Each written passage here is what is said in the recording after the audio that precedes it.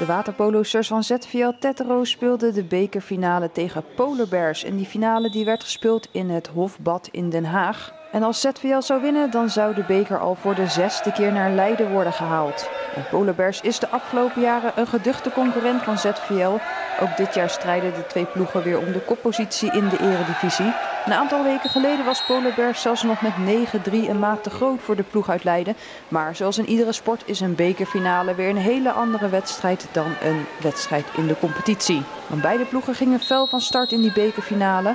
De eerste bal was voor Polar Bears en ook de eerste kansen waren voor de ploeg uit Ede. Zoals hierna een paar minuten een bal op de lat voor Polar Bears. En ook keepster Jalou van Helsuwe moest al snel in actie komen. Maar met een mooie redding hield zij de stand op 0-0. Het was vervolgens ZVL die de score opende. Captain Marianne de Groot mocht een strafwoord nemen. En zij ronde koelbloedig af.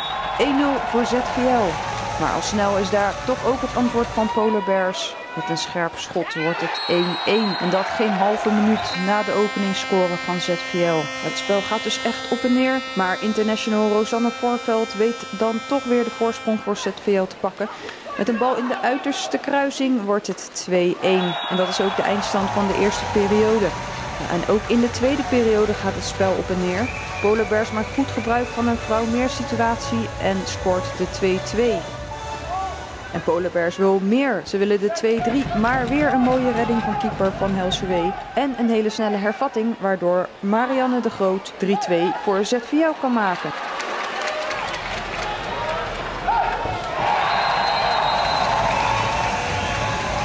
Maar weer een snel antwoord van Polar Bears. Weer binnen een halve minuut wordt het 3-3. En zo gaat het ook nadat de 4-3 wordt gemaakt. Polar Bears maakt weer snel gelijk. Maar aan het einde van de tweede periode weet ZVL toch een klein gaatje te slaan. Met nog ongeveer anderhalf minuut te gaan scoort Melissa van Rijn de 5-4 met een mooi afstandsschot. Dan een minuut later krijgt Polarbears een uitsluiting. En daar weet ZVL goed gebruik van te maken. Isis Keizer scoort de 6-4. Van Helsewee moet nog wel even voor rust in actie komen. Met een mooie redding zorgt zij dat de ruststand 6-4 blijft. ZVL komt daarna wel een aantal keer goed weg. Zo blijft de bal een keer op de lijn liggen bij ZVL, waardoor geen score wordt toegekend. En ook wordt er nog een keer met een afstandsschot op de lat geschoten door Polar Bears. Ja, soms moet je ook gewoon een klein beetje geluk hebben. Maar vervolgens loopt ZVL volledig op eigen kracht toch weer uit naar de 8-4 door een doelpunt van Burak Hakverdian. Maar Polar Bears geeft zeker nog niet op. Een half minuut voor het einde van de derde periode moet keeper van Helsweef weer in actie komen. Pas met nog 2,5 minuten gaan weet Polar Bears weer te scoren. Het gebeurt na een uitsluiting van Marianne de Groot. Polar Bears krijgt een strafworp en het wordt 8-5.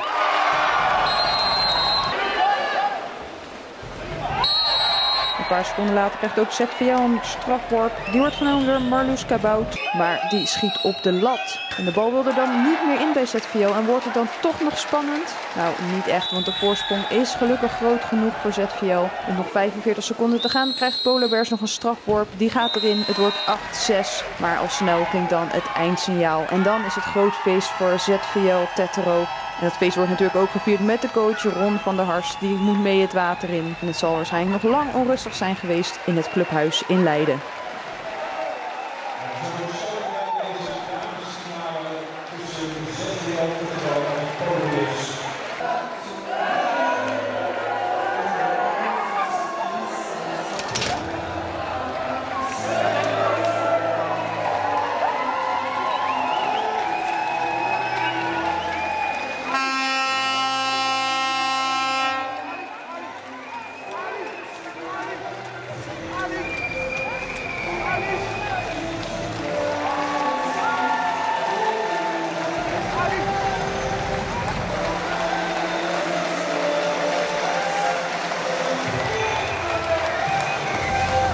Het belangrijkste was eh, dat we op een gegeven moment de voorsprong namen van vier doelpunten. En je kon zien dat ze machteloos waren.